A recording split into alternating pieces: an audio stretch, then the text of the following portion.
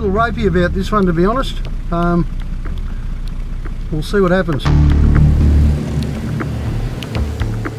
going to try the other side, uh, go the big angle. This is not my preferred option. How slippery is this?